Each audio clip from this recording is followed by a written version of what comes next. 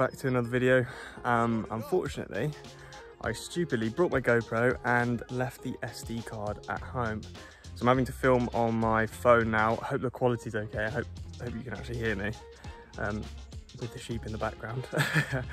uh, so in my last video, I talked about the pro license status, the fact I've got the pro license, which is awesome. If you you haven't seen that video, uh, I'll link it above. Please do go and check it out because it gives you more details about the appeal and British Triathlon changing the criteria, which is awesome. Um, and so in this video, I'm going to be talking about what my plan is for the rest of the season and going forward into next season as well.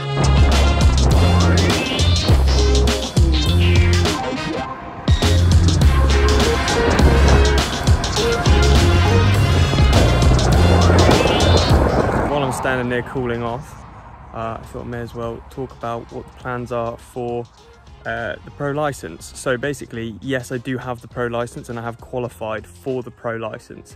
However, I am going to wait to kind of get the pro license next season.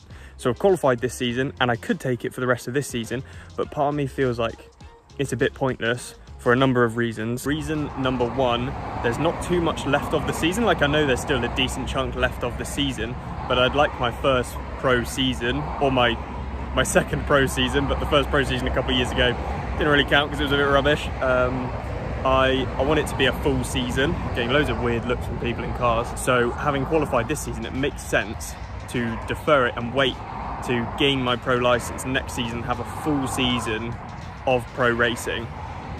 The other reason is it gives me an opportunity for the rest of this season to be a little bit more rogue with the races that I'm doing and be a little bit different and do things I wouldn't normally get to do because of chasing, you know, percentages, times, positions. And so that excites me. And it means that the rest of this season I can do stuff that's really different, really exciting, um, stuff that I wouldn't normally think about doing, stuff that's going to keep me motivated and kind of keep the fire burning ahead of my first pro season, which will be next season. Another reason would be it gives me another bit of time to be in the best shape possible when I start racing professionally. So another winter behind me, another winter of base, strength, all of that good stuff uh, means I'll be in a better position come next season. So that's the plan. Um, some weird looks from people. um, please subscribe to my YouTube channel. um, so that's the plan. I'm taking my pro license next season. So 2022 will be my pro season.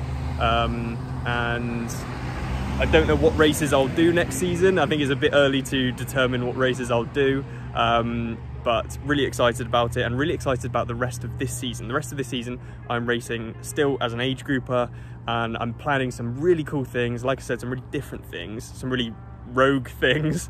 Um, and it should be really cool. I've already entered a few races and I'm going to talk through a bit later what those races are and hopefully I'll see a lot of you at those races.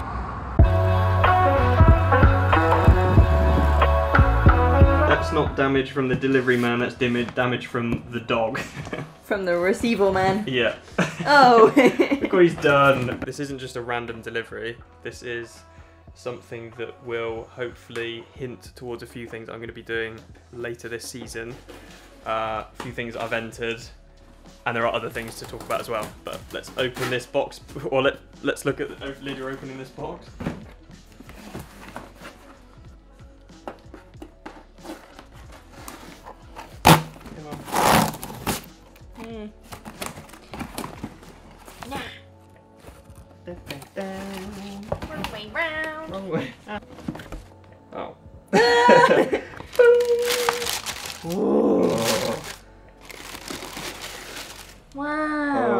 At those.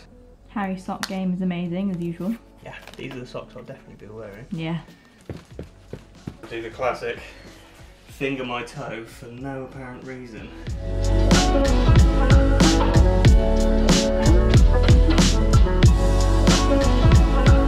So these are the Scott Supertrac RC2 trail shoes. Uh, the reason why I went for them, number one is the reviews looked really, really good.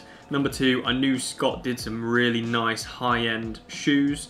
Um, and number three, they look sick, and so that was probably the main reason for going for them. Um, I wanted to make sure that it had a good mix of really good traction, but also it was not going to be uncomfortable on hard pack trails and on the tarmac as well. I do have some other trail shoes I've been using. I got them for like 30 quid off Sport Shoe, I think it was. They were like the cheapest ones I could find. And they're so uncomfortable. And I need something that's a bit more comfortable and a bit more rugged for the stuff that I'm going to be doing for the rest of the season. So the reason, yeah, the reasons why I've got these are a couple of races later on this season.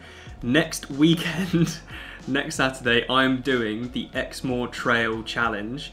I've decided to do, I think they've got a 5k, 10k, half marathon, marathon and ultra. I've decided to go for the marathon. So starting in Porlock next weekend, I will be doing a marathon trail race. Uh, no idea how it's going to go, just something a bit of fun. Why not? It's something that I wouldn't normally, like I said, it was something that I wouldn't normally get to do in the middle of a triathlon season when I'm normally focusing about, you know, positions and percentages and getting, you know, some sort of result. The fact that I've got the pro license lined up for next year and I can accept it next year for the whole season means that the rest of this season is kind of freed up to do what I want. And this is stuff that I've always been interested in doing, so why not? Like, you know, now's the perfect time to do it. So next weekend I'm doing, like I said, the trail race in Exmoor. I'll vlog the whole thing and we'll see how it goes. Could be really good, could be really bad, um, but it'd just be a really good experience. And then later on in the year, I think in October, I'm doing one of the Maverick series races in the Jurassic Coast. Um, and that's an ultra marathon, so I think it's 55, 56k. Those are obviously things that I'm really excited about. So this marathon next weekend is going to be really cool, and then gearing up for an ultra trail race along the Jurassic Coast in October is going to be mad. Really excited about that. It's just something so different, something that I really just want to throw myself at and just see how the body reacts. Um, and then also for the rest of the season, we do at T3, we want to get a couple of teams together for the uh, team relays at Nottingham. That'll be really cool, really exciting. And I am focusing on Outlaw Bowood as well. The reason why I'm focusing on Outlaw Bowood is because it's literally like maybe 30 seconds down the road from where my parents live. So I know the roads really well. I'm going to try and get out as much content before the race as possible with regards to course recce's, stuff like that. So if any of you are doing Outlaw Bowood, let me know in the comment section below. I'll try and get as much content out, like bike course recce's, what the swim course looks like, what the run course looks like, any tips and tricks that I have up my sleeve for the race day, because like I said, I know the course really well. I've grown up on the course. I know exactly kind of where hopefully where to apply the pressure and where to where you can relax a little bit. So I'll be giving my kind of personal tips with regards to that and that's a race that I really want to focus on doing well at, and I think that's beginning of September, if I'm right in saying.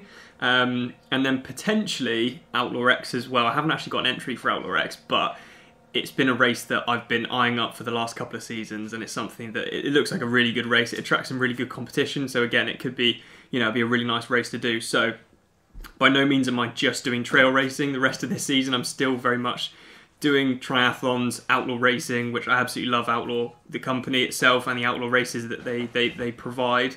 Um, but I'm just mixing up with some different things that I've kind of always been intrigued to try, and now seems like a good time to try it. We got some buns and some. Ooh, I didn't notice these. I know. Where you wait? Thanks for providing your phone. Yes, Harry now knows my password, and I'm scared. It's all Ferrari. Um, Where? Also, actually, what I do want to say is I'm a complete newbie to trail racing and especially like ultra running and like long distance trail races. So, this one's just like a massive punt. I'm just going to go and see what happens. And if it goes well, great. If it doesn't, then great. Um, but if anyone has any tips with regards to well, anything with regards to trail running and you know long distance trail running, let me know because I've not done much trail running. I haven't got too much, especially race experience. So if anyone does have experience and they've got some tips, please share them in the comment section below because uh, I could do with some help. And um, yeah, appreciate you watching the video and I will see you in the next one. Ferrari.